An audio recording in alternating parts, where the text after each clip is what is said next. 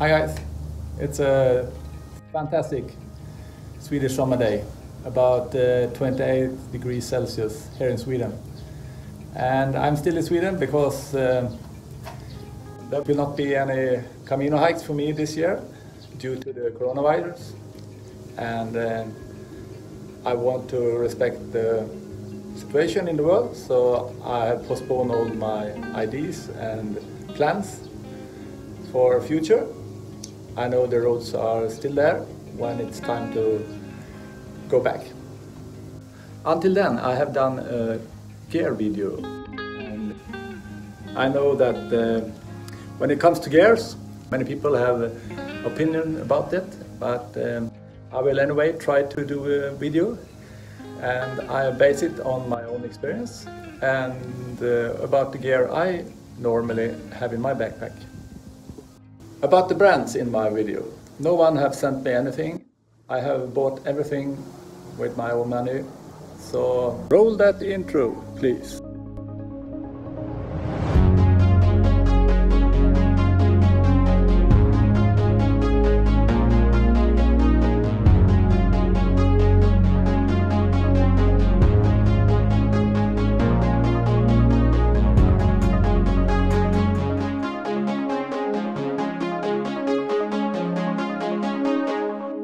Welcome to the Fast Hiker channel.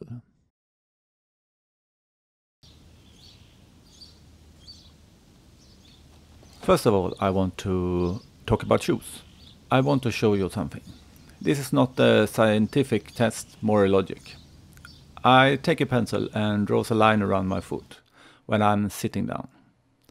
If I then stands up and moves the foot a few times and then put it back again and draws a new line around the foot, you will see what happens.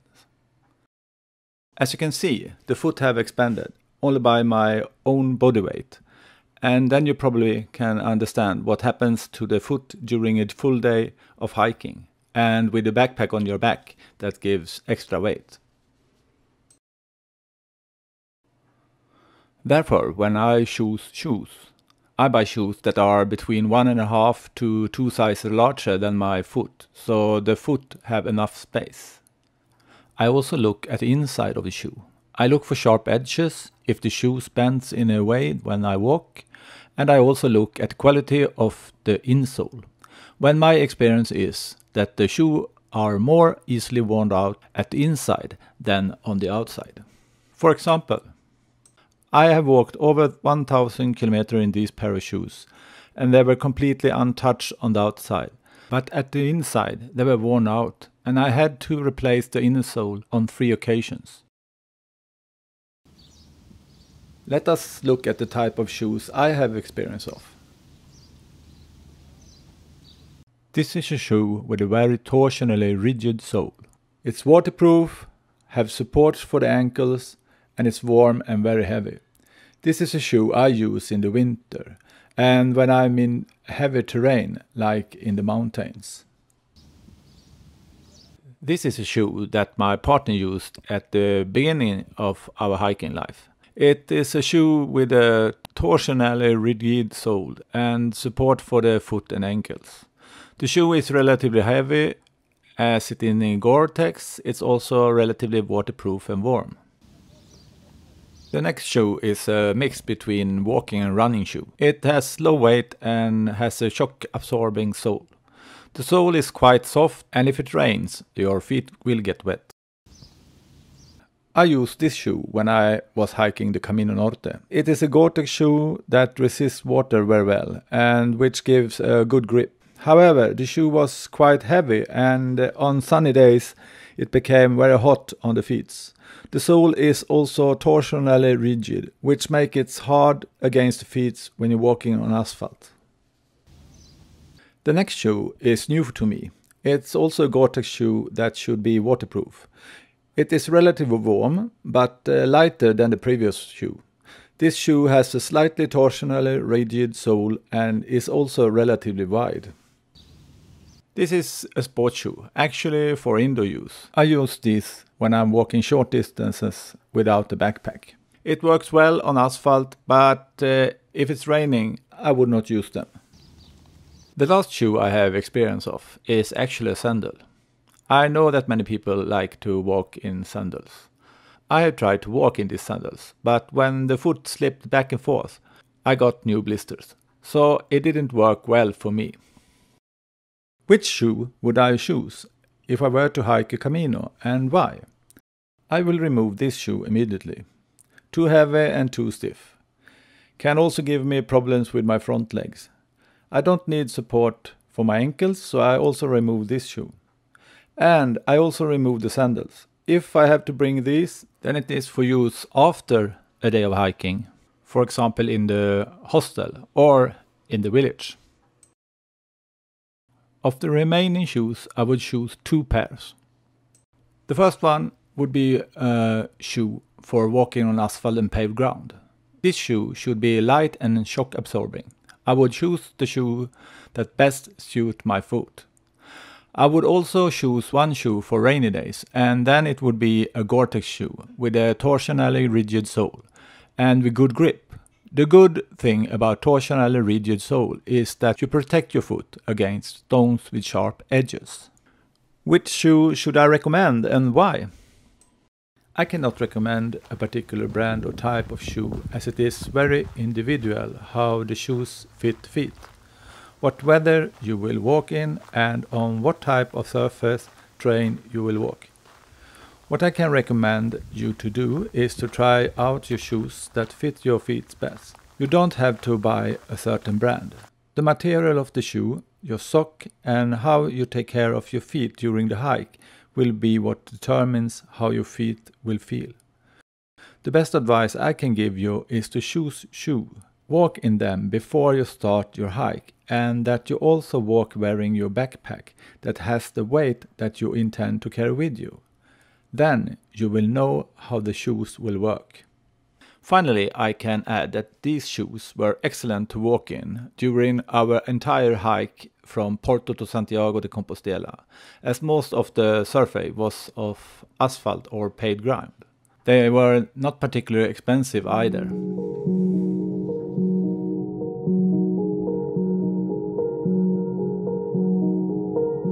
Hi guys, I found this spot in the shadow and um, I will share my experience from my equipment with you. Let's look into this. This is my backpack. It's an Osprey Talon 44. It's um, actually a shell, you can say, with uh, some pockets on. On the right side here I got the rain cover and on the left side I have put a thermometer and a compass. On this side of the backpack there are some pockets. You have one here that you can uh, also tie it up a bit if you want. You have one also here on the belt. I have one on the top and I will turn it around you will see and as you see you have the same on this side. Here and here. You also have this possibility to have a CamelBak here if you want. On this side you have the large pocket and it's very easy to use as you can see on this side, you can see that the back is uh, a bit curved and it follows your back. It's also a pocket here for a camel pack. You can easily change the size of your backpack by doing this. And then you can change the height of your backpack. It's also a possibility to do a signal in this pipe kind of rescue thing. And you also have this strap that uh, where you can connect poles for example and want to have them strapped on your backpack for a while.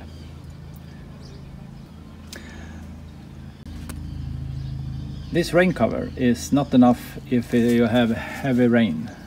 It covers the whole backpack, but when you place the backpack on the ground, the wet will come up from the bottom and into your gear. That's why I use waterproof bags inside the backpack. And it's also very easy to find things and it's easy to unpack. So let's start unpacking the backpack. In the top pocket I have my rain gear.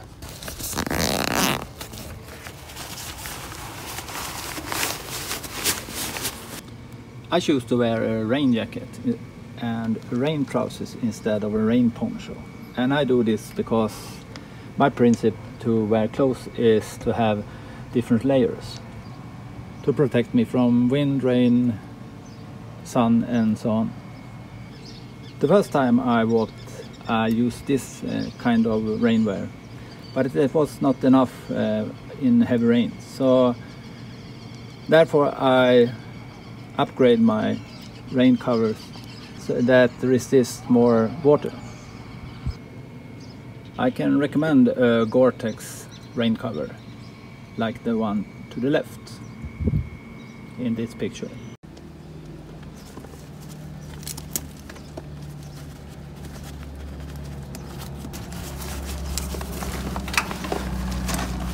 On this side I also have a pocket here is where I placed my so it's easy to find when I arrived at uh, the albergue.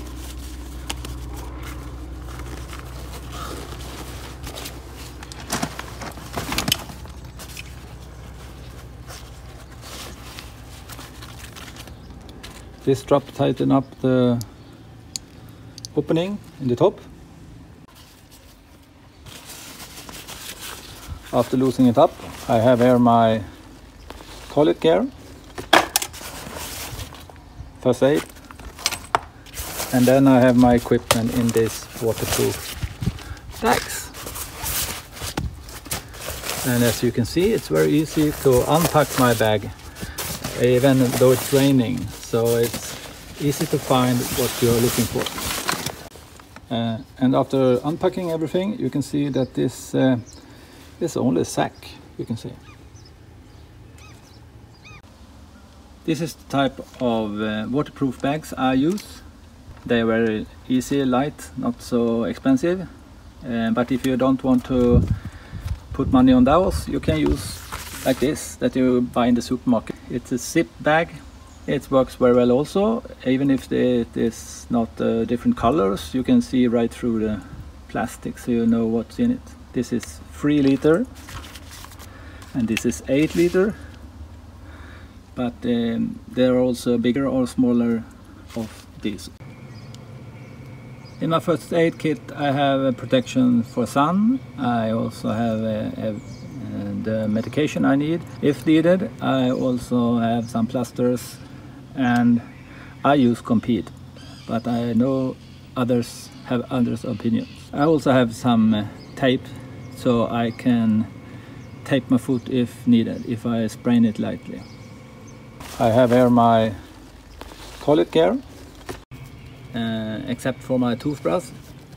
I have a small brush for the hair. I have this laundry soap for clothes. I normally buy this in a supermarket in Spain or France. Clothespins, four or five, of those. I have these straps that I can repair things with. A closing stripe that I can close bags or something with. This if I need to connect something and also a plug for my ear when uh, you should sleep. Okay, what else do I bring with me? I also have some technical stuff with me when I'm walking as you can see I have a GoPro camera, a power bank and some connections make my backpack heavier unfortunately. I also bring this uh, wind jacket with me because I like that one. It's my one of my favorites. I have uh, almost have it in 20 years and uh, I can say I don't know why I always use it but uh, it's not Gore-Tex it's kind of Windstop soft shell and uh, it's not heavy give a good protection from light rain and uh, from heavy winds and it keeps me warm actually. So that's why I'm using it. I also bring this lightweight vest. It's actually a running vest and I use it to get a bit warmer on the chilly mornings. It's very very light and it protects me from wind and uh, I think it's a very easy way to get warmer. Also good when you are in the albergue because when you have walked for a while you maybe start freezing even if it's warm outside. It's happened to me when I lost 10 kilo walking this 1600 kilometers long walk. I was very frozen in the evening even if the temperature was over 30 degrees. Of course I bring socks with me and then normally they are in merino wool. And why is wool so good? They dry very fast and if they don't have a heel like this one you can turn the socks around if you get, get a hole here. So and I normally use two pair of two pair of socks at the same time because one lighter and one heavier so I get the friction between the socks instead of my feet and the sock. That helps me to avoid blisters. I have tried to use this kind of sport socks but um, I discovered that it takes very long to get them dry and uh, I get too much friction in my shoes so I got blisters when I use them. But if you like them, use them. Okay, underwear. I use this kind of underwear. It's a like a boxer short, boxers underwear is in merino and uh, merino wool dry very fast when you have washed them. I also bring these larger ones uh, with the long legs because I use them if I start freezing in the evening. You don't need them if you're walking in July and August. That's my experience. And why I'm using this size is because um, I don't want to have some edges or it should not be so tight on my body because then it's can I don't know the English word really but it scrapes was like uh, on the skin so you, the skin will be red like that and when I'm using this type it uh, I can avoid that. Okay it's a bit more expensive type of underwear but um, I think it's worth it. I use this kind of trousers where you can uh, strip off the legs so it will be shorter.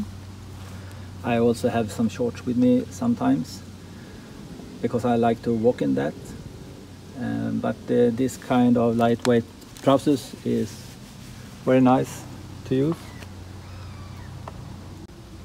I also use this uh, kind of shirt. It's a merino wool shirt, a bit ex more expensive, but I've used this uh, during all my hikes since 2017 and as you see uh, it's still in good conditions and it's also easy to wash and it dries very fast. I have at least two of those with me when I'm walking. In the evenings and when I am at the alberg or in the villages I use this kind of clothes.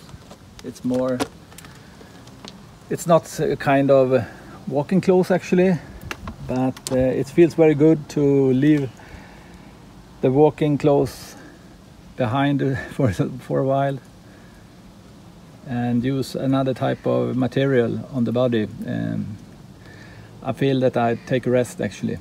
So that's why I'm using this. Okay, let's talk about sleeping bag.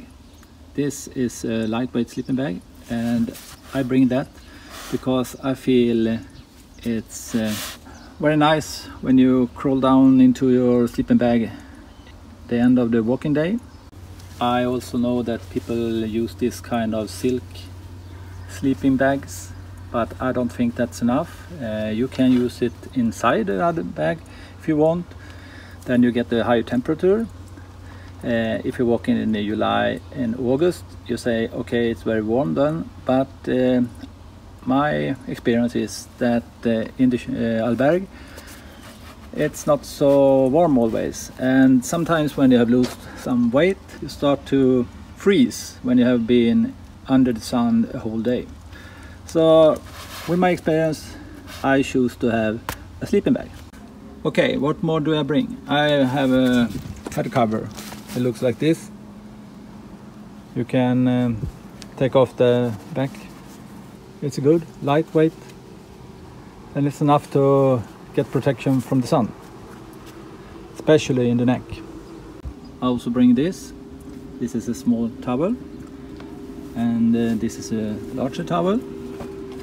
It's in a material that dry very quickly, and it works very well.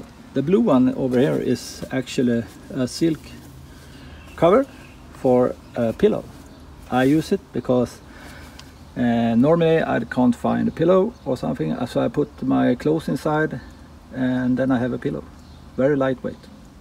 Okay, the last thing, and this is uh, actually for my passport and the money. I bring bring it around my body and under my clothes so no one sees it and it's very light but very good I sometimes also sleep with this so I have my things that is very important for me always with me even when I shower in the alberg I can recommend this normally I have uh, some money in the pocket so people cannot see that I have more money on me when I am in the shops and like that and then I have my reserve in this. That was all for this time. Thanks for watching and until next time, take care. And please subscribe to the channel for more videos. See you soon.